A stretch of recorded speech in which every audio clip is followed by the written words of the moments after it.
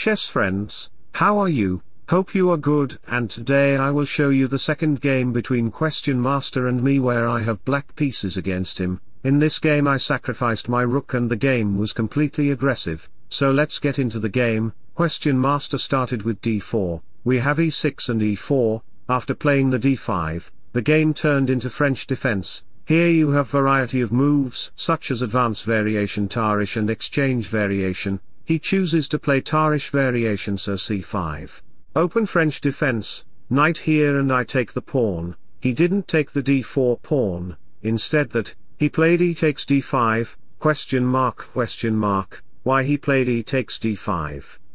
Because he want to develop his pieces first with the knight, queen d6, castle and you can't protect the d-pawn, it's not in your hand, so knight f6, knight c3 knight c6 and we have first pieces exchanges in the center, queen c7, queen e2, a6, knight f3 and I played bishop d6, getting the diagonal with queen bishop, battery to attack in the future, he played bishop g5 to target my knight, that's a completely idiotic move, I wouldn't save the knight with bishop and put my bishop on this nonsense diagonal. Instead, I thought to myself, if I castle on the short side, I won't be able to attack him on the king side, that's why I played an interesting move h6, giving white to my knight and making him a double pawn, for that reason I get the file to access my rook and the bishop creativity on this diagonal, in the long run I can double up my rooks on the g file, okay we have rook d1, bishop d7 rook e1 bishop e7, knight d4, look at the white pieces, they are targeting to my e6 pawn. If you play any normal move for example b5, then he will sacrifice his knight, and after doing big exchanges on e6 square, white will target to my pawn but that's not a big problem, big problem is that he will completely seize my ed diagonals and my king will totally exposed, so in this position I castle in long side, bishop d5 by him, question mark, can you take the bishop?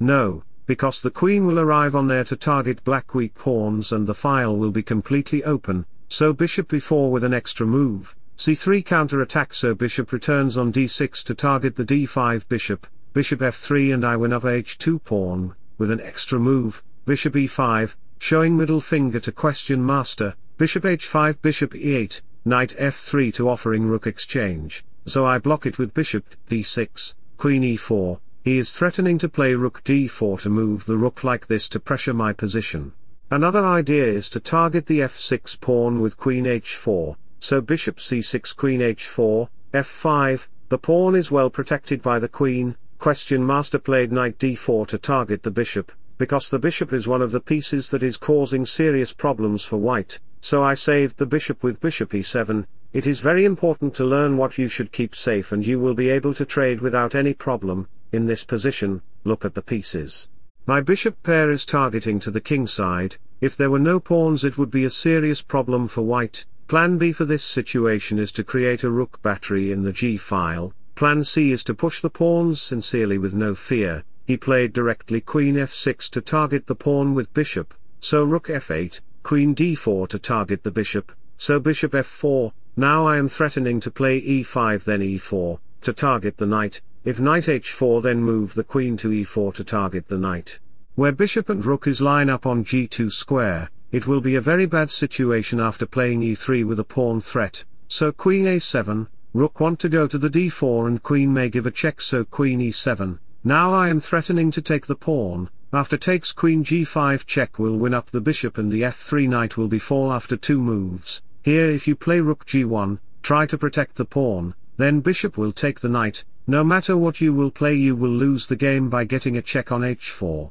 So in this position we have king g1 bishop e8, queen d4 and I sacrificed my rook on g2, that's a brilliant move and chess friends. If you want to make brilliant sacrifices like me then you can like and subscribe to my YouTube channel where you will get brilliant contents from me. We have king takes g2 queen g5 check, king h3, queen takes check and the king can't retreat because the bishop and queen line up on there, so knight h4 bishop c7. My tactic is to play rook d8 to get the file to target the rook with two pieces after escaping the queen on b4, so he played queen b4 first, rook e8 rook g1, you might think, the white king is exposed, so play attacking moves to target the knight, and make the rook moves to pressure the king with the white bishop, but you should learn from me, where to attack, how to attack and what will be the outcome of my attacks, the knight and the h rank is well protected by the queen. The rooks is doing very good job, so it's not the right time to attack,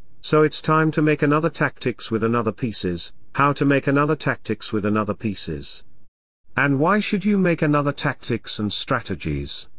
Because, white can't able to stop another piece's involvements, his all pieces are busy to protect the king, because the king is exposed, make clear pass pawns, that's the right time, he tried to do something with the queen move but I played f4, locking the rank to attack the knight with bishop and queen, so rook g4 and you cannot play bishop d7 to target the rook, therefore he will sacrifice his rook to expose your king and target the king with the rook and queen. So I continue the tactic with e4 and look at my pawns, they are getting closer to their destiny, e3 is coming, and bishop f3 will from your rooks, f5 is a threat, question master played a4 so I played e3, if you take the pawn, let me show you the variation, rook check will come so king backs, queen takes rook and you will lose the rook, so in this position we have queen e2, f5 to target the rook. If you move back your rook to g1 then you will lose your queen on e2, so back to the position,